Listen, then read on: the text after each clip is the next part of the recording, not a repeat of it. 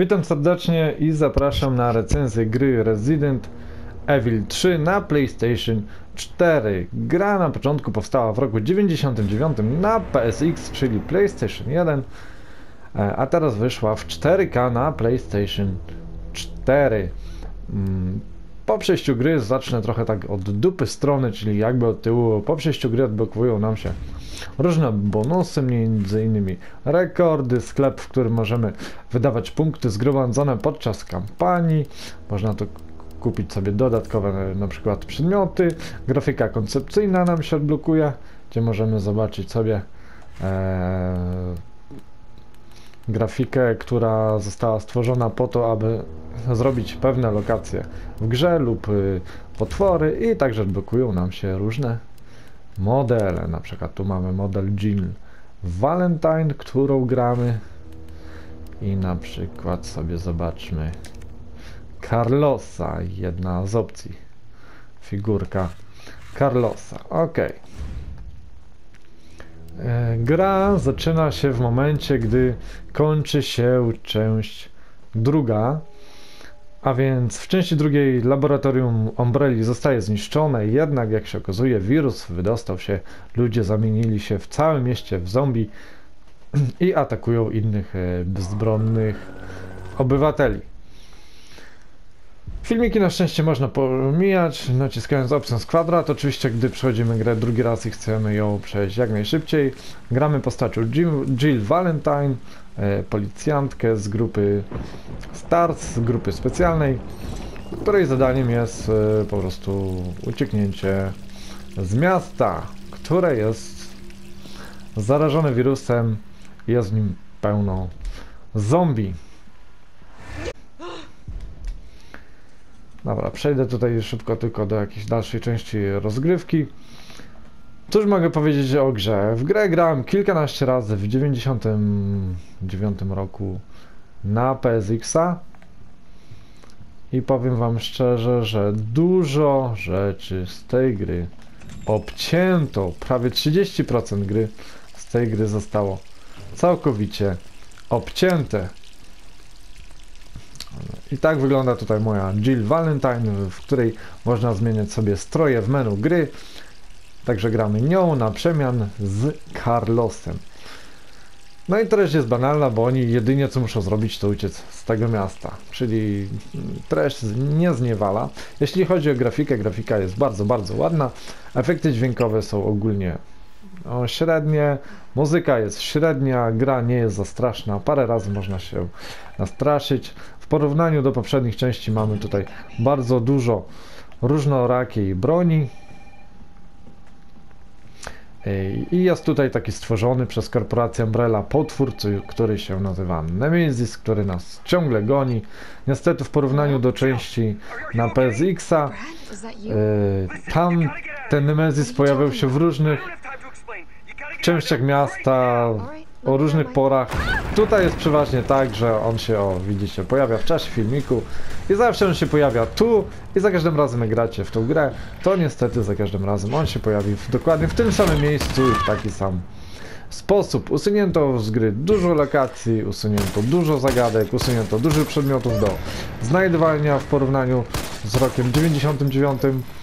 Usunięto też możliwość wyboru decyzji, usunięto dużo dodatków i usunięto alternatywne zakończenia. No i teraz pytanie jest, co zostało? No został taki tylko mały skrawek miasta. Ja kupując tę, tą grę, to byłem pewny, że będę fajnie chodził po otwartym mieście w takiej dużej, dużej lokacji, jak to miało w latach 90. miejsce.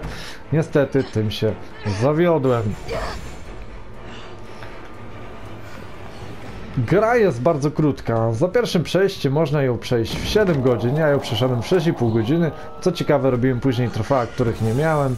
I przeszedłem ją za drugim razem w 4,5 godziny i to jest liczony czas razem z wszystkimi filmikami. Yy, także ogólnie razem z filmikami to wiecie, tak ten czas gry jest jeszcze krótszy, ponieważ filmiki mogą trwać nawet godzinę, półtorej w tej grze. No i tak jak widzimy tutaj mamy Nemezisa, który atakuje Jill Valentine. Czasami mamy quick time eventy, mamy coś wcisnąć od czasu do czasu. I jedynym plusem, który ratuje tą grę, takim dużym plusem jest to, że mimo bardzo krótkiej żywność, żywotności tego tytułu, to gra jest naprawdę całkiem fajna. Może nie wciąga tak bardzo. W sumie nawet jest tak zrobiona, że za bardzo nie kibicujemy tym postaciom, aby one przeżyły. Po prostu gramy byle do końca, byle do przodu i tyle. Mm, jakoś ja tam nie czułem za bardzo, że chcę tymi postaciami przeżyć. Po prostu grałem to. No, że- żeby przejść. No niestety, ta gra nie ma klimatu, nie ma duszy części yy, starej, tego z lat 90. Co ciekawe, po przejściu drugi raz gry odpaliłem sobie gameplay e, na YouTube z lat 90., aby porównać niektóre sceny i dialogi i powiem wam szczerze, że tutaj te sceny są średnio wyreżys- wyreżyserowane i dialogi są strasznie denne. W tej części na PS4. W tamtej części był, mimo że też to ta i tamta gra miała dużo broni, dużo naboi, dużo wrogów, to niestety tutaj nie czuć takiego zakłopotania, że jesteśmy w mieście pełnym zombiaków.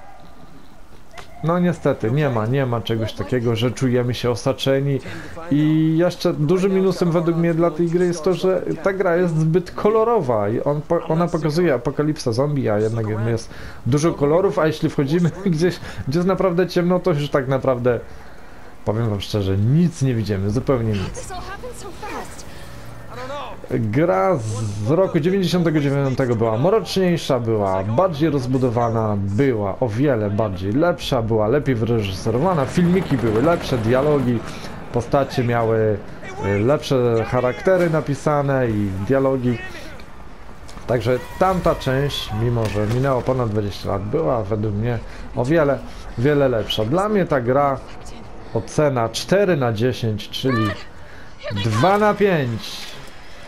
Także widzicie, no tutaj jest na przykład, że zombie idą przez tą jakąś taką barierkę, tę siatkę, ale jest to tak zrobione, że no, my jakoś strachu nie czujemy, że ta postać zginie czy coś. Jeśli chcecie, to polecam wam ściągnąć sobie demo tej gry, spróbować sobie demo.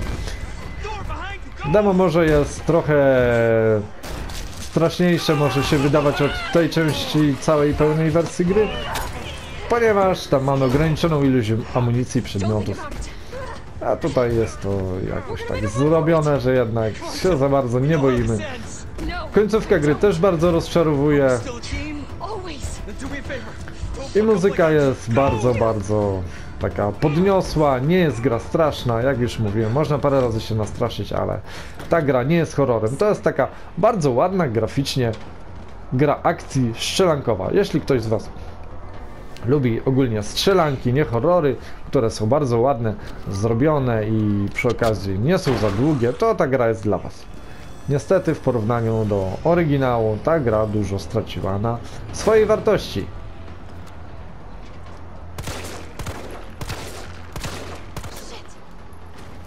To zbieramy różne przedmioty, używamy je. Zagadek tutaj praktycznie nie ma, jest chyba tylko dwie zagadki przez całą grę. Są jedynie fajne wstawki, że trzeba na przykład uciekać przed Nemezisem. No i praktycznie tyle. Jedyne jakie są fajne lokacje, to mogę wam powiedzieć, to właśnie tutaj to miasto, które jest niestety o mało, mało, jest mniej rozbudowane niż w części oryginalnej i jest fajna lokacja, która mi się bardzo podoba, jest to szpital. Także ocena moja ostateczna 4 na 10, czyli 2 na 5. Spodziewałem się czegoś lepszego, jednak tego nie otrzymałem. Niestety. Dzięki za oglądanie, trzymajcie się i cześć i pozdrawiam. Hej hej, papa.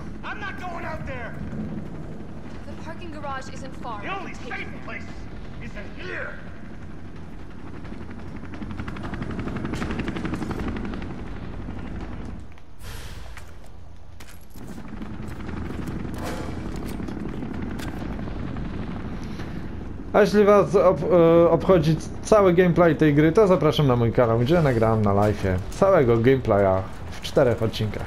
Pozdrawiam, hej, papa.